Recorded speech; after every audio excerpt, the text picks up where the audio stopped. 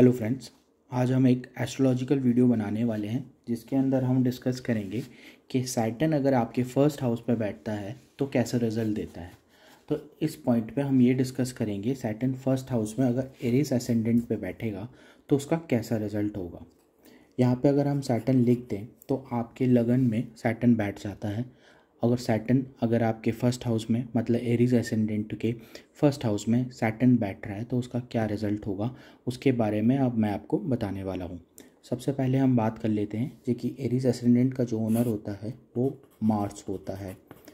अगर मार्स के हाउस में सैटन बैठता है तो उसका क्या रिज़ल्ट देगा, वो ऐसा रिज़ल्ट देगा जी कि जो हम बोलेंगे ज़्यादा अच्छा नहीं होगा। क्योंकि यहाँ पे सैटन टेंथ हाउस का ओनर एंड एलेवेंथ हाउस का ओनर है और एलेवेंथ और टेंथ हाउस का ओनर होके फ़र्स्ट हाउस में जाके बैठा है। जिसकी वजह से एलेवेंथ हाउस के लिए तो सैटन अच्छा रहेगा टेंथ हाउस के लिए भी ठीक ठाक रहेगा, लेकिन आपके लिए, आपके मेंटल स्ट्रेस के लिए काफ़ी, आपकी मेंटल सिचुएशन के लिए काफ़ी प्रॉब्लमेटिक होगा मेंटल स्ट्रेस देगा। उसका रीज़न ये है कि सैटन और मार्स दोनों एनिमी प्लानट हैं, एक दूसरे के साथ इनकी नहीं बनती हैं।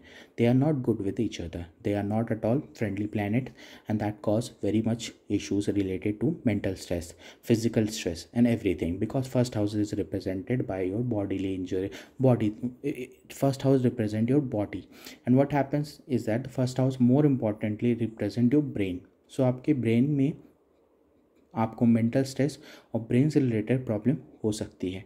इसलिए उसका ख्याल ज़रूर रखिएगा। दूसरी बात सैटन का जो सबसे लास्ट दृष्टि है, एक्सपेक्ट है, वो टेंथ हाउस पे पड़ता है और टेंथ हाउस का ओनर भी है। यहाँ पे बैठ के सैटन कंफर्टेबल नहीं है। So father is not comfortable with you because tenth house is also related to father, ठीक है? आपसे फादर के साथ आपकी अच्छे रिलेशनशिप बनने में प्रॉब्लम प्रॉब्लम्स हो सकते हैं कि father is not comfortable with you और फादर के हेल्थ से भी, फादर के को भी मेंटल स्ट्रेस या फादर से आपको कुछ मेंटल स्ट्रेस हो सकते हैं। Second point is that Saturn as a working lot first house में बैठा है और फ़र्स्ट हाउस हम कंसिडर करते हैं क्योंकि फ़र्स्ट हाउस में बैठे हुए प्लानट कुछ भी ख़राब रिज़ल्ट नहीं देते हैं। सो so, यहाँ पे हम ये कह सकते हैं कि टेंथ हाउस में बैठा हुआ फ़र्स्ट हाउस में बैठा हुआ सेटन टेंथ हाउस का ओनर होके वर्क से रिलेटेड इश्यूज़ ज़रूर क्रिएट करेगा बट वर्क आपका चलता रहेगा। काम आपके हो जाएँगे लेकिन आपको काफ़ी मेहनत करनी पड़ेगी जो कि हमारे थर्ड एक्सपेक्ट से भी तीसरी दृष्टि से भी दिखाई देती है। क्योंकि यहाँ पे हम देखेंगे सैटन फ़र्स्ट हाउस में बैठ के तीस, तीसरी जो उसकी दृष्टि है, तीसरे ही घर पे पड़ रही है। हालाँकि फ्रेंडली प्लानट है मरकरी सैटन के साथ, लेकिन यहाँ पे सैटन स्ट्रगल बढ़ा देगा बिकॉज़ सैटन खुश नहीं है फ़र्स्ट हाउस में बैठ के। इसलिए आपको स्ट्रगल से ही काम बनेंगे। आपकी स्ट्रगल बहुत ज़्यादा रहेगी।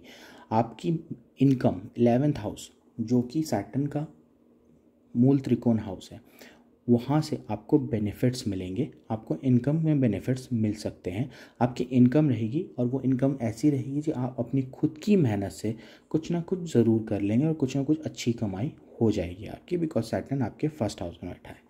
सबसे इंपॉर्टेंट पॉइंट अब बचता है कि सैटन अगर तीसरी दृष्टि यहाँ दे रहा है और दसवीं दृष्टि टेंथ हाउस में दे रहा है तो सैटन की जो एक और दृष्टि है, सातवीं। वो कैसी रहेगी? सैटन की सातवीं दृष्टि पड़ती है सेवन्थ हाउस में फ़र्स्ट हाउस से रह के।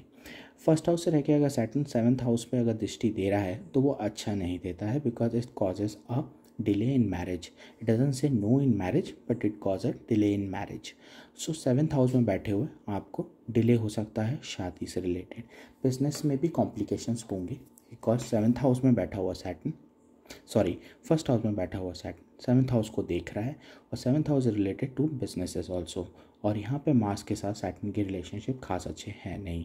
इसी कारण की वजह से सेवन्थ हाउस में सैटन जब दृष्टि देगा तो वो बिज़नेस से भी आपको प्रॉब्लम क्रिएट करेगा। सो so, यहाँ पे अगर हम ओवरऑल बात करें तो बिज़नेस के लिए आप यहाँ पे ट्राई ना करें तो ज़्यादा बेहतर रहेगा। अगर आप दूसरे प्लान ज़रूर देख सकते अगर Venus is very strong somewhere sitting in very good places then you can try for business but if it's not then try for job only work only because it's a good first house is a good placement for work but it will cause struggle but आप एक government job की भी try कर सकते हैं specifically any any job which is related to like policing और judiciary और anything आप अच्छा रिज़ल्ट कर सकते हैं। आप प्रॉपर्टी डीलिंग में भी अच्छा काम कर सकते हैं। आप प्रॉपर्टी से रिलेटेड बिज़नेस में भी जा सकते हैं। तो आप उसमें भी काम कर सकते हैं। अगर प्रॉपर्टी से प्रॉपर्टी से रिलेटेड कोई कंपनी है, कोई काम करता है उसमें आप होते हैं तो ज़्यादा अच्छा रहेगा। इसके अलावा आपकी इनकम अच्छी रहेगी बट हेल्थ का बहुत ध्यान रखिएगा। Because health is not good है आपका हेल्थ अपना ध्यान से चलिएगा और फादर के साथ अपना रिलेशनशिप कॉर्डर रखने की कोशिश करिएगा। सैटन के रेमेडीज़ करिएगा। सैटन के रेमेडीज़ सैटरडेज़ को किए जाते हैं। सैटरडेज़ में आप सैटन के रेमेडीज़ करिए। हनुमान चालीसा के पाठ कर सकते हैं which is very good which is can be done on Tuesday Saturday on a daily basis also so आप अपने हिसाब से जो पसंद है जैसा भी है उसकी तर, उस तरीके से सैटन की रेमेडीज़ करिएगा, आपके लिए बहुत फ़ायदेमंद रहेगा। अगर मार्स डाउन है तो मार्स की भी रेमेडीज़ करिएगा प्लीज़ बिकॉज़ इससे आपका मार्स और सैटन दोनों कॉर्डल रहने की अच्छी संभावना बन जाती है। Thank you